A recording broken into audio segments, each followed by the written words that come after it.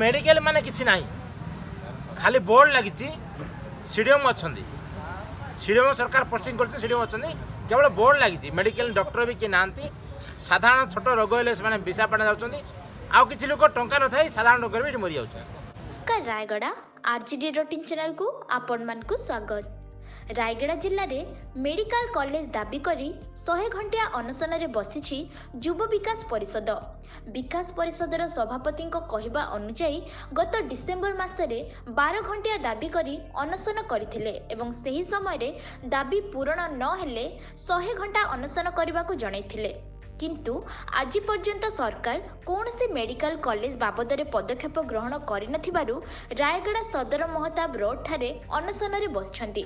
କେବଳ ଜିଲ୍ଲାରେ medical college ନୁହେଁ ଦୁଇ ହଜାର ଶଯ୍ୟା ବିଶିଷ୍ଟ କଥା ରହିଥିବା ବେଳେ କେବଳ ଅନେଶ୍ୱତ ଶଯ୍ୟା ବିଶିଷ୍ଟ ସୁବିଧା ରୋଗୀ ପାଇପାରୁଛନ୍ତି। ଏଣୁ ତୁରନ୍ତ ମୁଖ୍ୟ ଚିକିତ୍ସାଳୟକୁ ସୁପର ସ୍ପେଶାଲିଷ୍ଟ ମେଡିକାଲରେ ପରିଣତ କରିବା ସହ ମେଡିକାଲରେ ପ୍ରତ୍ୟେକ ଦିନ ହେଉଥିବା ଅବ୍ୟବସ୍ଥା ଦୂର କରିବାକୁ ଦାବି କରିଛନ୍ତି। ଯଦି ସରକାର ଏହି ଅନଶନକୁ ଗୁରୁତ୍ୱ ନ ଦିଅନ୍ତି ତେବେ ଆଗାମୀ ଦିନରେ ଆନ୍ଦୋଳନକୁ ବଢ଼ାଯିବ ଏବଂ କୌଣସି ଅପ୍ରୀତିକର ପରିସ୍ଥିତି ଉପୁଜିଲେ ସରକାର ଦାୟୀ ରହିବେ ବୋଲି ଚେତାବନୀ ଦେଇଛନ୍ତି ସଭାପତି ଶିବାଜୀ ଦାସ। ଜିଲ୍ଲାରେ ସ୍ୱାସ୍ଥ୍ୟ ବ୍ୟବସ୍ଥା ବିପର୍ଯ୍ୟସ୍ତ ହୋଇପଡ଼ିଛି। ଜିଲ୍ଲାରେ ମେଡ଼ିକାଲ କଲେଜ ପ୍ରତିଷ୍ଠା ଏବଂ ସ୍ୱାସ୍ଥ୍ୟ ସ୍ୱାସ୍ଥ୍ୟ ବ୍ୟବସ୍ଥା ଯେଉଁ ବିପର୍ଯ୍ୟସ୍ତ ହୋଇଛି ତାକୁ ରକ୍ଷା କରିବା ପାଇଁ ସରକାରଙ୍କ ପାଖରେ ପହଞ୍ଚିବା ପାଇଁ ଆମେ ଆଜି ଆଜିଠାରୁ ଶହେ ଘଣ୍ଟିଆ ଅନାହାର ଅନଶନ ଘୋଷଣା କରି ଆରମ୍ଭ କରିଛୁ।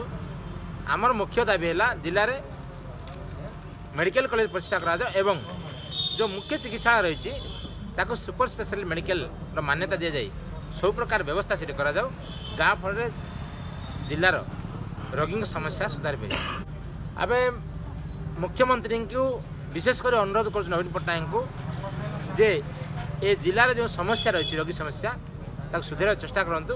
ଯଦି ସେ ଏଭଳିଆ ମାନେ ନ ଶୁଣୁନୁ ଆଖି ବନ୍ଦ କରି ଯଦି ରହିବେ ଆଗାମୀ ଦିନରେ ଆନ୍ଦୋଳନ ତୀବ୍ରତର କରାହେବ।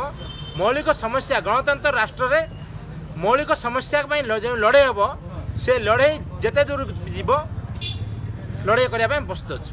ଆମେ ଅନୁରୋଧ ପତ୍ର ମୁଖ୍ୟମନ୍ତ୍ରୀଙ୍କ ପଟ ଯେତେ ଜଣ ଆସୁଛନ୍ତି ଆମର ଏଠିକୁ ଅନଶନ ସମର୍ଥନ କିମ୍ବା ଯେଉଁ ବିକାଶ ପରିଷଦ ସଭ୍ୟ ସମସ୍ତେ ମିଶି ଆମେ ଗୋଟେ ପୋଷ୍ଟ କାର୍ଡ଼ର କ୍ୟାମ୍ପେନିଂ କରିଛୁ। ପୋଷ୍ଟ କାର୍ଡ଼ ସବୁ ପଠାଇବୁ ନବୀନ ପଟ୍ଟନାୟକ ପାଖକୁ ଚିଫ୍ ମିନିଷ୍ଟର ପାଖକୁ ଅନ୍ତତଃ ସେ ଜାଣିବା ଦରକାର ଯେ ସମସ୍ତେ ଏଥିରେ ସାମିଲ ଅଛନ୍ତି ସେଥିପାଇଁ ପୋଷ୍ଟ କାର୍ଡ଼ ଜରିଆରେ ବି ଆମେ ନବୀନ ପଟ୍ଟନାୟକ ଜଣାଇବା ପାଇଁ ଚେଷ୍ଟା କରୁଛୁ ମୁଁ ଜଣେ ଆମ ଯୁବ ବିକାଶର ଜଣେ ସଭ୍ୟ। ମୁଁ ଆପଣଙ୍କୁ ଗଣମାଧ୍ୟମ ଜରିଆରେ ଜଣାଇବାକୁ ଚାହୁଁଛି ରାୟଗଡ଼ା ଜିଲ୍ଲା ଗୋଟେ ଆଦିବାସୀ ଏବଂ ବହୁତ ଗରିବ ଲୋକ ବି ବସବାସ କରନ୍ତି।